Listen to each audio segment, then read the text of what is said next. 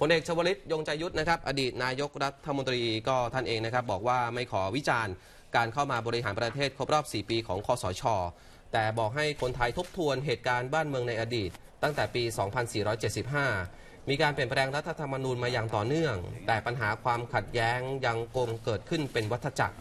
ซึ่งวิธีการแก้ไขก็ต้องทำต้องทำให้ประชาชนให้เป็นศูนย์กลางของการเลือกตั้งให้ได้นะครับแล้วก็ให้ประชาชนเป็นหัวใจสูงสุดของระบอบประชาธิปไตย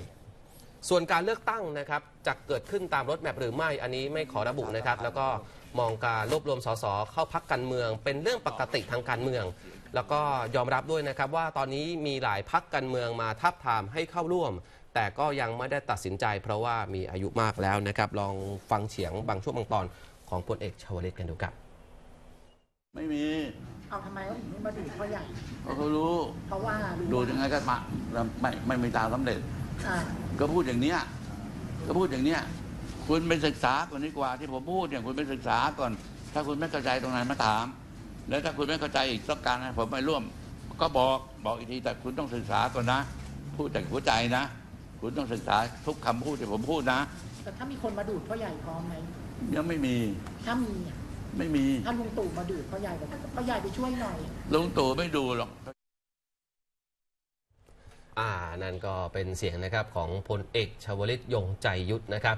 ก็ถึงท่านจะอายุเยอะแล้วดู ค่ะแล้วท่านยังแข็งแรงอยู่เลยนะครับอ่ายัยังตอบโต้กับสื่อมวลชนได้ค่อนข้างดีทีเดียวค่ะ นะครับ นอกจากนี้นะครับพลเอกชวลิตเองยังเปิดเผยนะครับว่าได้มีโอกาสพูดคุยกับคุณทักษิณชินวัตรอดีตนายกรัฐมนตรีด้วยนะครับ แล้วก็ได้ให้คำปรึกษาหนทางที่จะกลับประเทศไทยก็คือต้องทำเพื่อประชาชนครับ ก็นานๆนักข่าวเจอทีนะครับ ก็ถามท่านเนี่ยหลายประเด็น ค่ะหลักๆเนี่ยแน่นอนนะครับเรื่องของการเมืองการเลือกตั้ง อืมคงถามมานะครับว่าสรุปแล้วเนี่ยท่านน่าจะอยู่กับพรรคไหนจ้ะ อ่าแต่ท่านบอกแล้วนะครับ ตอนนี้ยังไม่คิดอ่าเพราะท่านก็อายุมากแล้วด้วยนะครับอ่าการเดี๋ยวเมืตั้งองต่อกำลังเข้มแหม่ข้นเข้มข้นจริงๆนะครับอ่าช่วงนี้ครับ ต้องมาติดตามความเคลื่อนไหวกันต่อไป